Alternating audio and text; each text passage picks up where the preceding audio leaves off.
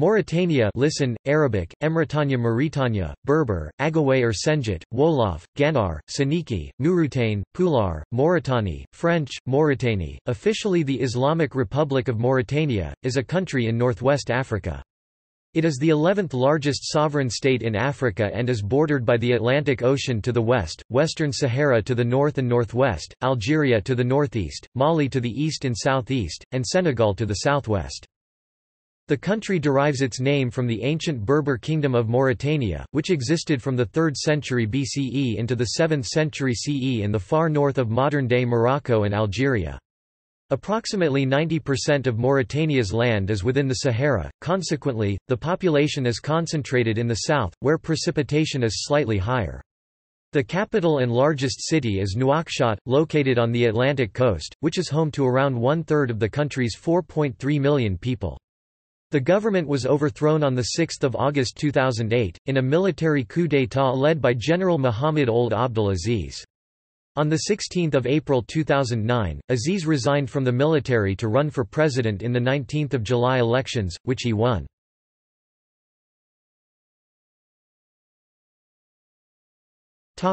History and politics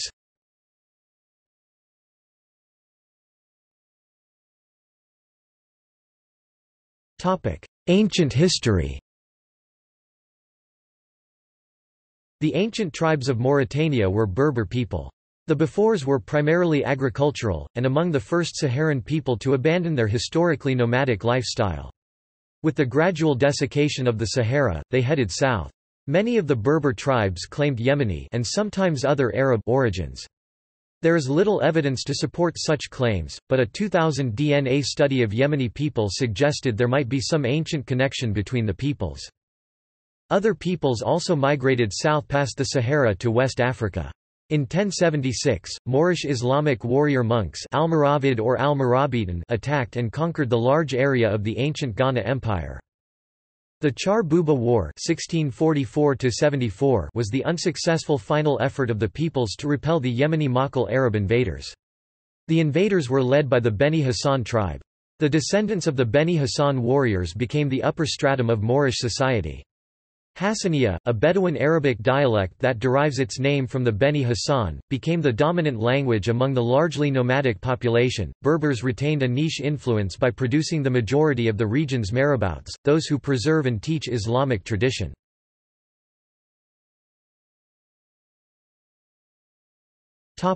Colonial history and present day.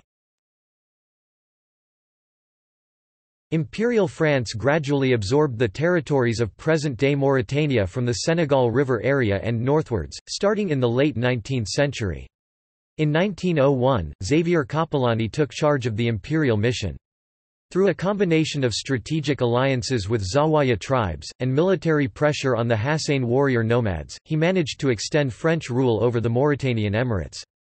Trarza, Brakna and Tagant were occupied by the French armies in 1903–04, but the northern emirate of Adrar held out longer, aided by the anti-colonial rebellion or jihad of Sheikh Ma al-Ainain, as well by insurgents from Tagant and the other regions. Adrar was finally defeated militarily in 1912, and incorporated into the territory of Mauritania, which had been drawn up and planned in 1904. Mauritania was part of French West Africa from 1920, as a protectorate and, then, a colony. French rule brought legal prohibitions against slavery and an end to inter-clan warfare. During the colonial period, 90% of the population remained nomadic. Many sedentary peoples, whose ancestors had been expelled centuries earlier, began to trickle back into Mauritania. The previous capital of the country under the French rule, St. Louis, was located in Senegal, so when the country gained independence in 1960, Nouakchott, at the time little more than a fortified village, KSAR, was chosen as the site of the new capital of Mauritania. After gaining independence, larger numbers of indigenous sub-Saharan African peoples Halpulaar, Soninke, and Wolof entered Mauritania, moving into the area north of the Senegal River. Educated in French language and customs, many of these recent arrivals became clerks, soldiers, and administrators in the new state. This occurred as the French militarily suppressed the most intransigent Hassan tribes in the north. This changed the former balance of power, and new conflicts arose between the southern populations and Moors. Between these groups stood African origins, who as part of the Arab society, integrated into a low-caste social position. Modern-day slavery still exists in different forms in Mauritania. According to some estimates, thousands of Mauritanians are still enslaved. A 2012 CNN report, "'Slavery's Last Stronghold' by John D. Sutter, describes and documents the ongoing slave-owning cultures. This social discrimination is applied chiefly against the black Moors Haratin in the northern part of the country, where tribal elites among white Moors, Bidhan, Hassaniya-speaking Arabs and Arabized Berbers hold sway. Slavery practices exist also within the sub-Saharan African ethnic groups of the south. The Great Sahel droughts of the early 1970s caused massive devastation in Mauritania, exacerbating problems of poverty and conflict. The Arabized dominant elites reacted to changing circumstances, and to Arab nationalist calls from abroad, by increasing pressure to Arabize many aspects of Mauritanian life, such as law and the education system. This was also a reaction to the consequences of the French domination under the colonial rule. Various models for maintaining the country's cultural diversity have been suggested, but none were successfully implemented. This ethnic discord was evident during intercommunal violence that broke out in April 1989 the Mauritania-Senegal border war, but has since subsided. Mauritania expelled some 70,000 sub-Saharan African Mauritanians in the late 1980s. Ethnic tensions and the sensitive issue of slavery, past and, in some areas, present, are still powerful themes in the country's political debate. A significant number from all groups seek a more diverse, pluralistic society.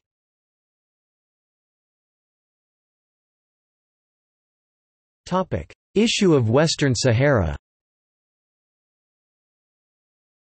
The International Court of Justice has concluded that in spite of some evidence of both Morocco's and Mauritania's legal ties prior to Spanish colonization, neither set of ties were sufficient to affect the application of the UN General Assembly Declaration on the granting of independence to colonial countries and peoples to Western Sahara. Mauritania, along with Morocco, annexed the territory of Western Sahara in 1976, with Mauritania taking the lower one-third at the request of Spain, a former imperial power. After several military losses from the Polisario, heavily armed and supported by Algeria, the regional power and rival to Morocco, Mauritania withdrew in 1979. Its claims were taken over by Morocco. Due to economic weakness, Mauritania has been a negligible player in the territorial dispute, with its official position being that it wishes for an expedient solution that is mutually agreeable to all parties. While most of Western Sahara has been occupied by Morocco, the UN still considers the Western Sahara a territory that needs to express its wishes with respect to statehood. A referendum is still supposed to be held sometime in the future, under UN auspices, to determine whether or not the indigenous Sahrawis wish to be independent, as the Sahrawi Arab Democratic Republic, or to be part of Morocco.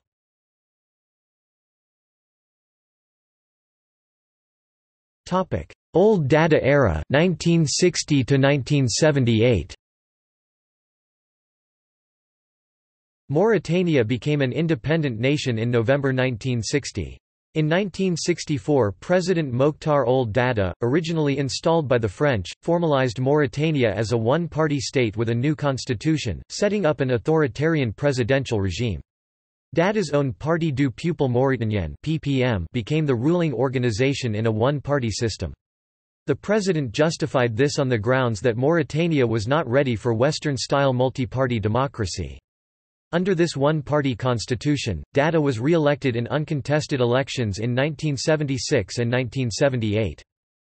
He was ousted in a bloodless coup on 10 July 1978. He had brought the country to near collapse through a disastrous war to annex the southern part of Western Sahara, framed as an attempt to create a «Greater Mauritania»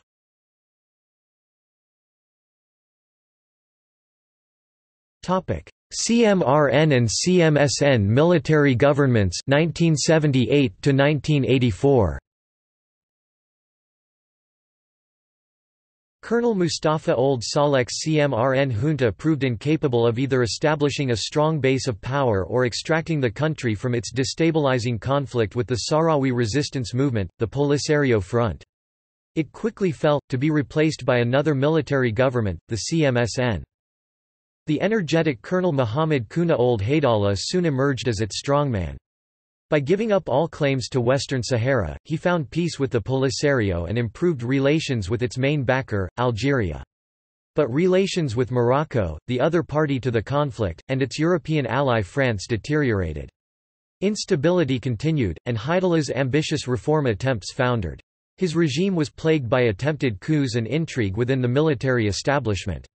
It became increasingly contested due to his harsh and uncompromising measures against opponents, many dissidents were jailed, and some executed. In 1981 slavery was formally abolished by law, making Mauritania the last country in the world to do so.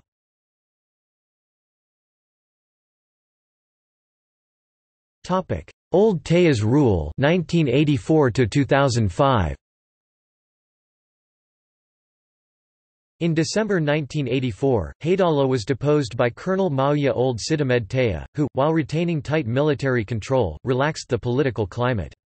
Ould Taya moderated Mauritania's previous pro-Algerian stance, and re-established ties with Morocco during the late 1980s.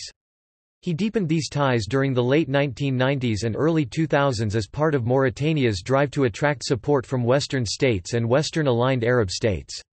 Mauritania has not rescinded its recognition of Polisario's Western Saharan exile government, and remains on good terms with Algeria. Its position on the Western Sahara conflict is, since the 1980s, one of strict neutrality. Ordinance 83.127, enacted 5 June 1983, started the process of nationalization of all land not clearly the property of a documented owner, thus abolishing the traditional system of land tenure.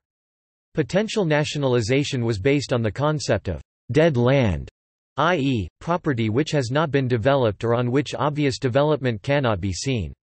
A practical effect was government seizure of traditional communal grazing lands. Political parties, illegal during the military period, were legalized again in 1991. By April 1992, as civilian rule returned, 16 major political parties had been recognized, 12 major political parties were active in 2004. The Parti républicain démocratique et social (PRDS), formerly led by President Maouya Ould Sid'Ahmed Taya, dominated Mauritanian politics after the country's first multi-party elections in April 1992, following the approval by referendum of the current constitution in July 1991. President Taya won elections in 1992 and 1997. Most opposition parties boycotted the first legislative election in 1992. For nearly a decade the parliament was dominated by the PRDS. The opposition participated in municipal elections in January to February 1994, and in subsequent Senate elections, most recently in April 2004 and gained representation at the local level, as well as three seats in the Senate. This period was marked by extensive ethnic violence and human rights abuses. Between 1990 and 1991, a campaign of particularly extreme violence took place against a background of Arabization, interference with blacks' association rights, expropriation and expatriation. In October 1987, the government allegedly uncovered a tentative coup d'état by a group of black army officers, backed, according to the authorities, by Senegal. Fifty-one officers were arrested and subjected to interrogation and torture. Heightened ethnic tensions were the catalyst for the Mauritania-Senegal border war, which started as a result of a conflict in Diawara between Moorish Mauritanian herders and Senegalese farmers over grazing rights. On 9 April 1989, Mauritanian guards killed two Senegalese. Following the incident, several riots erupted in Bakel, Dakar and other towns in Senegal, directed against the mainly Arabized Mauritanians who dominated the local retail business. The rioting, adding to already existing tensions, led to a campaign of terror against black Mauritanians, who are often seen as Senegalese by Bidhan, regardless of their nationality.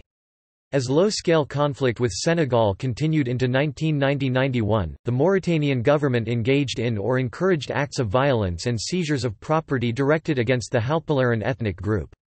The tension culminated in an international airlift agreed to by Senegal and Mauritania under international pressure to prevent further violence. The Mauritanian government expelled tens of thousands of black Mauritanians. Most of these so-called Senegalese had no ties to Senegal, and many have been repatriated from Senegal and Mali after 2007. The exact number of expulsions is not known but the United Nations High Commissioner for Refugees UNHCR estimates that, as of June 1991, 52,995 Mauritanian refugees were living in Senegal and at least 13,000 in Mali. From November 1990 to February 1991, between 200 and 600 depending on the sources Fula and Soninke soldiers and or political prisoners were executed or tortured to death by Mauritanian government forces. They were among 3,000 to 5,000 blacks, predominantly soldiers and civil servants, arrested between October 1990 and mid-January 1991. Some Mauritanian exiles believe that the number was as high as 5,000 on the basis of alleged involvement in an attempt to overthrow the government. The government initiated a military investigation but never released the results. In order to guarantee immunity for those responsible and to block any attempts at accountability for past abuses, the Parliament declared an amnesty in June 1993 covering all crimes committed by the armed forces, security forces as well as civilians, between April 1989 and April 1992. The government offered compensation to families of victims, which a few accepted in lieu of settlement. Despite this amnesty, some Mauritanians have denounced the involvement of the government in the arrests and killings. In the late 1980s, Ould Taya had established close cooperation with Iraq, and pursued a strongly Arab nationalist line. Mauritania grew increasingly isolated internationally, and tensions with Western countries grew dramatically after it took a pro-Iraqi position during the 1991 Gulf War. During the mid to late 1990s, Mauritania shifted its foreign policy to one of increased cooperation with the US and Europe. It was rewarded with diplomatic normalization and aid projects. On 28 October 1999, Mauritania joined Egypt, Palestine, and Jordan as the only members of the Arab League to officially recognize Israel. Ould Taya also started co-operating with the United States in anti-terrorism activities, a policy which was criticized by some human rights organizations. See also Foreign relations of Mauritania. A group of current and former army officers launched a violent and unsuccessful coup attempt on 8 June 2003. The leaders of the attempted coup escaped from the country, but some of them were caught, later on. Mauritania's presidential election, its third since adopting the democratic process in 1992, took place on 7 November 2003. Six candidates, including Mauritania's first female and first Haratine descended from former slaves candidates, represented a wide variety of political goals and backgrounds. Incumbent President Maouya Ould Sid'Ahmed Taya won re-election with 67.0% of the popular vote, according to the official figures, with Mohamed Khouna Ould Haidallah finishing second.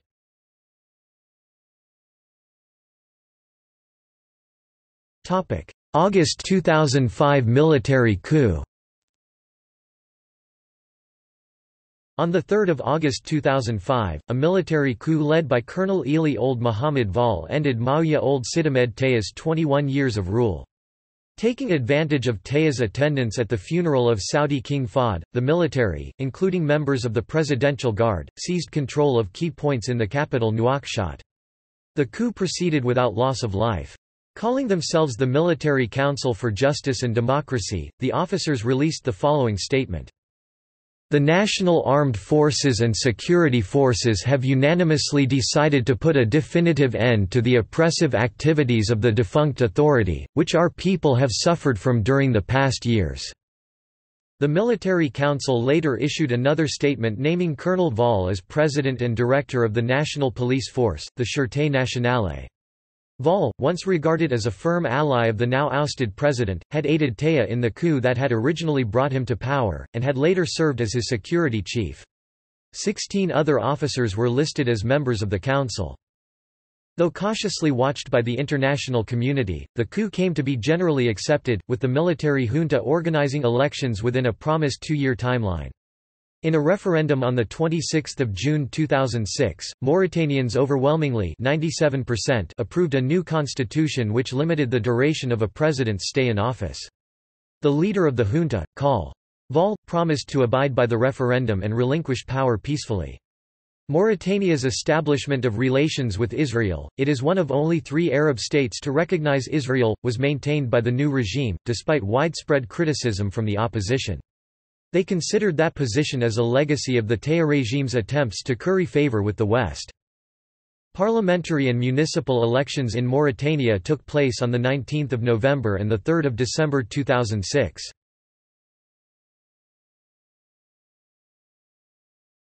Topic: 2007 presidential elections Mauritania's first fully democratic presidential elections took place on the 11th of March 2007. The elections effected the final transfer from military to civilian rule following the military coup in 2005. This was the first time since Mauritania gained independence in 1960 that it elected a president in a multi-candidate election. The elections were won in a second round of voting by Sidi Ould Sheikh Abdallahi, with Ahmed Ould Daddah a close second.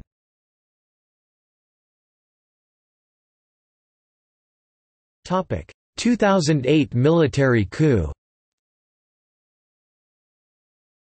On 6 August 2008, the head of the Presidential Guards took over the President's Palace in Nouakchott, a day after 48 lawmakers from the ruling party resigned in protest of President Abdallahi's policies. The army surrounded key government facilities, including the state television building, after the president fired senior officers, one of them the head of the Presidential Guards. The president, Prime Minister Yahya Ould Ahmed Waghef, and Mohamed Ould Arzazam, Minister of Internal Affairs, were arrested. The coup was coordinated by General Mohamed Ould Abdel Aziz, former Chief of Staff of the Mauritanian Army and head of the Presidential Guard, who had recently been fired. Mauritania's presidential spokesman, Abdoulaye Mamadouba, said the president, prime minister, and interior minister had been arrested by renegade senior Mauritanian army officers and were being held under house arrest at the presidential palace in the capital. In the apparently successful and bloodless coup, Abdallahi's daughter, Amal Mint Sheikh Abdallahi, said, the security agents of the BASEP Presidential Security Battalion came to our home and took away my father. The coup plotters, all dismissed in a presidential decree shortly beforehand, included Abdul Aziz, General Muhammad Ould al-Ghazwani, General Philippe Swikri, and Brigadier General Aqid Ahmad Ould Bakri.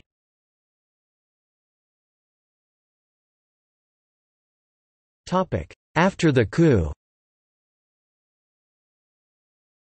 A Mauritanian lawmaker, Mohamed al-Mukhtar, claimed that many of the country's people supported the takeover of a government that had become an authoritarian regime under a president who had marginalized the majority in parliament. The coup was also backed by Abdallahi's rival in the 2007 election, Ahmed Ould Daddah. However, Abdelaziz's regime was isolated internationally, and became subject to diplomatic sanctions and the cancellation of some aid projects. It found few supporters among them Morocco, Libya and Iran, while Algeria, the United States, France and other European countries criticized the coup, and continued to refer to Abdallahi as the legitimate president of Mauritania. Domestically, a group of parties coalesced around Abdallahi to continue protesting the coup, which caused the junta to ban demonstrations and crack down on opposition activists. International and internal pressure eventually forced the release of Abdallahi, who was instead placed under house arrest in his home village. The new government broke off relations with Israel. In March 2010, Mauritania's female foreign minister Mint Hamdi Ould Mouknass announced that Mauritania had cut ties with Israel in a complete and definitive way. After the coup, Abdelaziz insisted on holding new presidential elections to replace Abdallahi, but was forced to reschedule them due to internal and international opposition. During the spring of 2009, the junta negotiated an understanding with some opposition figures and international parties. As a result, Abdallahi formally resigned under protest, as it became clear that some opposition forces had defected from him and most international players, notably including France and Algeria, now aligned with Abdul Aziz. The United States continued to criticize the coup, but did not actively oppose the elections. Abdallahi's resignation allowed the election of Abdul Aziz as civilian president, on 18 July, by a 52% majority. Many of Abdallahi's former supporters criticized this as a political ploy and refused to recognize the results. They argued that the election had been falsified due to junta control, and complained that the international community had let down the opposition. Despite complaints, the elections were almost unanimously accepted by Western, Arab and African countries, which lifted sanctions and resumed relations with Mauritania. By late summer, Abdelaziz appeared to have secured his position and to have gained widespread international and internal support. Some figures, such as Senate Chairman Messoud Ould Boulkheir, continued to refuse the new order and call for Abdul Aziz's resignation. In February 2011, the waves of the Arab Spring spread to Mauritania, where thousands of people took to the streets of the capital. In November 2014, Mauritania was invited as a non member guest nation to the G20 summit in Brisbane.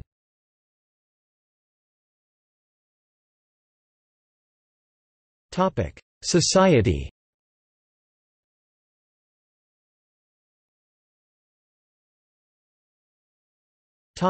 Demographics As of 2016, Mauritania had a population of approximately 4.3 million. The local population is divided into three main ethnic tiers, Bidhan or Moors, Haratin, and West Africans. The CIA World Factbook estimates 30% Bidhan, 40% Haratin, and 30% others. Local Statistics Bureau estimations indicates that the Bidhan represent around 53% of citizens.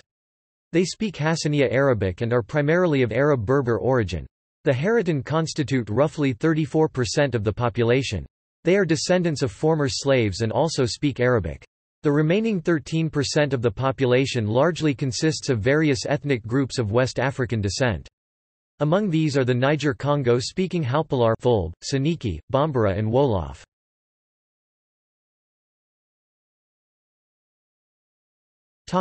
Religion Mauritania is nearly 100% Muslim, with most inhabitants adhering to the Sunni denomination. The Sufi orders, the Tijaniya and the Qadiriya, have great influence not only in the country, but in Morocco, Algeria, Senegal and other neighborhood countries as well. The Roman Catholic Diocese of Nouakchott, founded in 1965, serves the 4,500 Catholics in Mauritania mostly foreign residents from West Africa and Europe.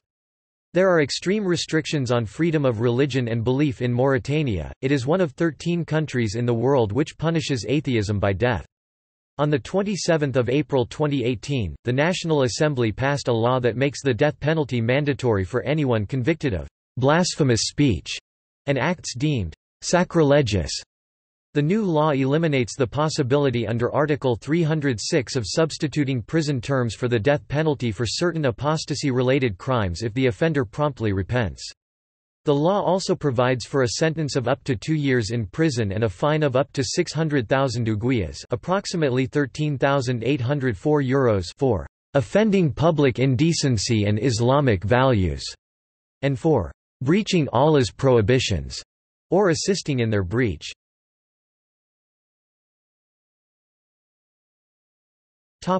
Languages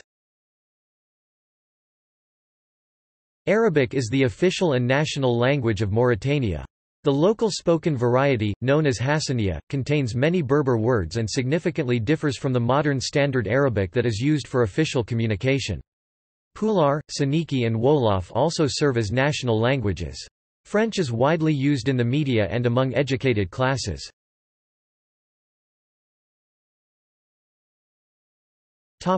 Health Life expectancy at birth was 61.14 years 2011 estimate. Per capita expenditure on health was $43 PPP in 2004. Public expenditure was 2% of the GDP in 2004 and private 0.9% of the GDP in 2004. In the early 21st century, there were 11 physicians per 100,000 people. Infant mortality is 60.42 deaths, 1,000 live births 2011 estimate. The obesity rate among Mauritanian women is high, perhaps in part due to the traditional standards of beauty in some regions in the country, in which obese women are considered beautiful while thin women are considered sickly.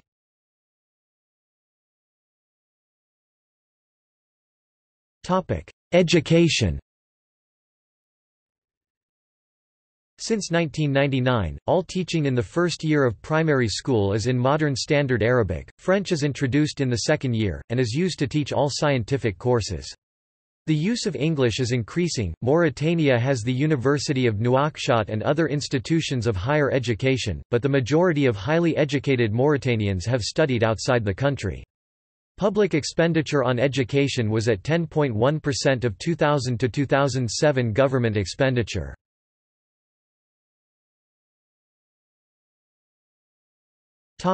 Urbanization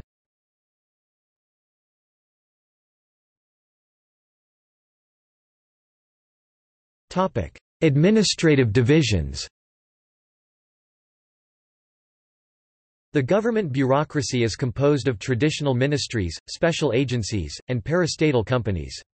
The Ministry of Interior spearheads a system of regional governors and prefects modeled on the French system of local administration. Under this system, Mauritania is divided into 15 regions wilaya or regions. Control is tightly concentrated in the executive branch of the central government, but a series of national and municipal elections since 1992 have produced limited decentralization. These regions are subdivided into 44 departments The regions and capital district in alphabetical order and their capitals are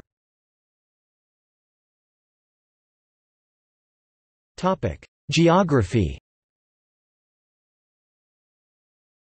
Mauritania's land area is 1,030,000 square kilometers, 397,685 square miles, 90% of which is desert. It is the world's 29th largest country after Bolivia. It is comparable in size to Egypt.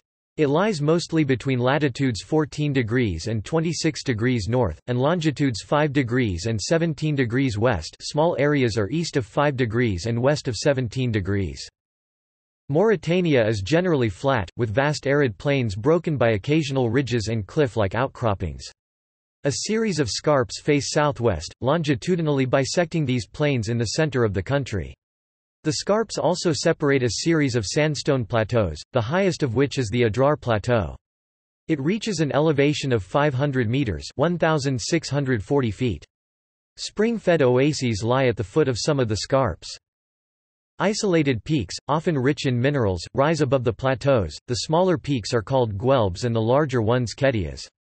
The concentric guelb-ur-Richat also known as the Richat structure is a prominent feature of the north-central region. Kidayat e J Jil, near the city of Zouérat, has an elevation of 915 metres 3,002 feet and is the highest peak. Approximately three-quarters of Mauritania is desert or semi-desert. As a result of extended, severe drought, the desert has been expanding since the mid-1960s. To the west, between the ocean and the plateaus, are alternating areas of clayey plains regs and sand dunes ergs, some of which shift from place to place, gradually moved by high winds. The dunes generally increase in size and mobility toward the north.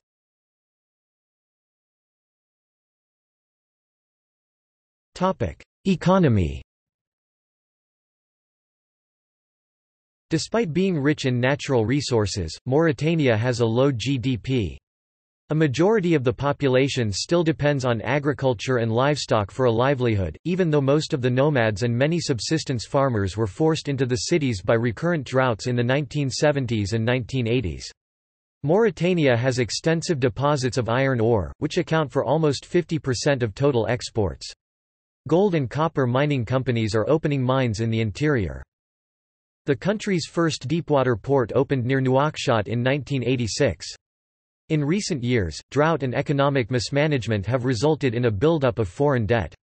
In March 1999, the government signed an agreement with a joint World Bank International Monetary Fund mission on a $54 million Enhanced Structural Adjustment Facility The economic objectives have been set for 1999 to 2002. Privatization remains one of the key issues. Mauritania is unlikely to meet ESAF's annual GDP growth objectives of 4–5%. Oil was discovered in Mauritania in 2001 in the offshore Chinguetti field. Although potentially significant for the Mauritanian economy, its overall influence is difficult to predict. Mauritania has been described as a desperately poor desert nation, which straddles the Arab and African worlds and is Africa's newest, if small-scale, oil producer.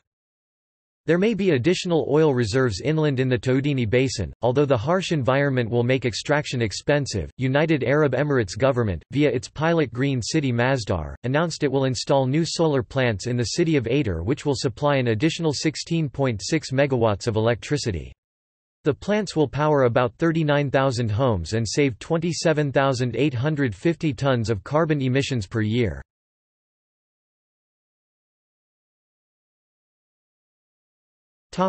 Human rights The Abdallahi government was widely perceived as corrupt and restricted access to government information. Sexism, racism, female genital mutilation, child labor, human trafficking, and the political marginalization of largely southern-based ethnic groups continued to be problems. Homosexuality is illegal and is a capital offense in Mauritania. Following the 2008 coup, the military government of Mauritania faced severe international sanctions and internal unrest. Amnesty International accused it of practicing coordinated torture against criminal and political detainees. Amnesty has accused the Mauritanian legal system, both before and after the 2008 coup, of functioning with complete disregard for legal procedure, fair trial, or humane imprisonment. The organization has said that the Mauritanian government has practiced institutionalized and continuous use of torture throughout its post-independence history, under all its leaders.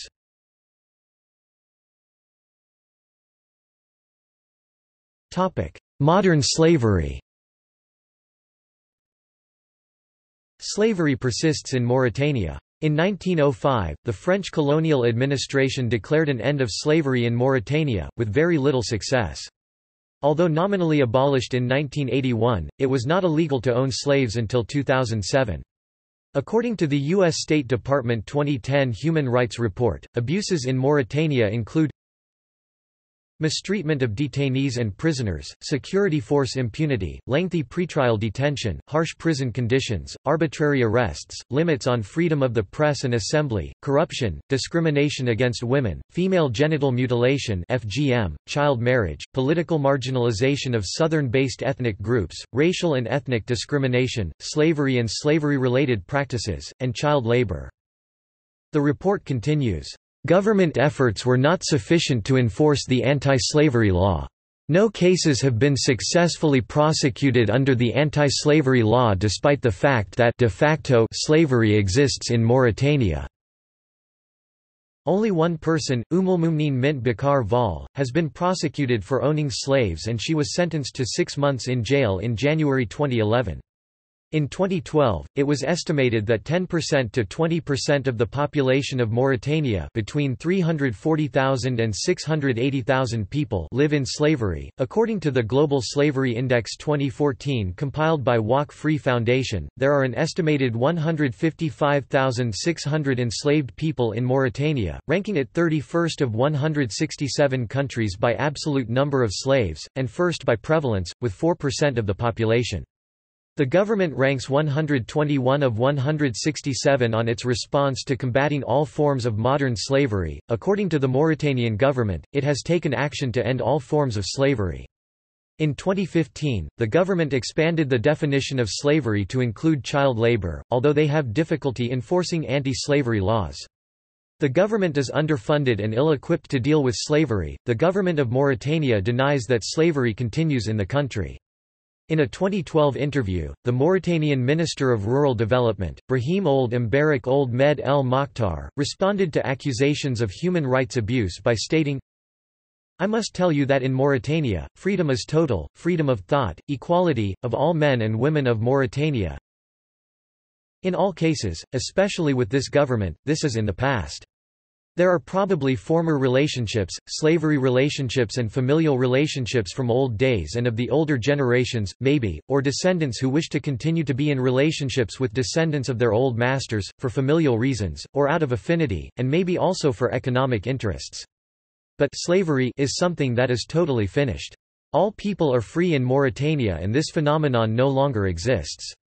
And I believe that I can tell you that no one profits from this commerce. Obstacles to ending slavery in Mauritania include the difficulty of enforcing any laws in the country's vast desert poverty that limits opportunities for slaves to support themselves if freed Belief that slavery is part of the natural order of this society. In November 2016, an appeals court in Mauritania overturned the jail convictions of three anti slavery activists and reduced the sentences of seven others to time served, leaving three in custody, for their alleged role in a riot in June, Amnesty International said. Another court had originally sentenced the 13 human rights activists and members of the Resurgence of the Abolitionist Movement to 15 years in prison.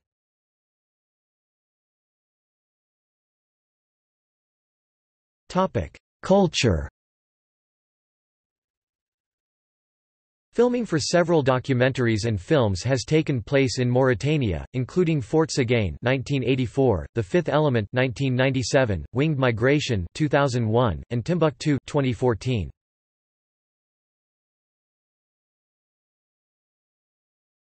Topic. See also Index of Mauritania-related articles. Outline of Mauritania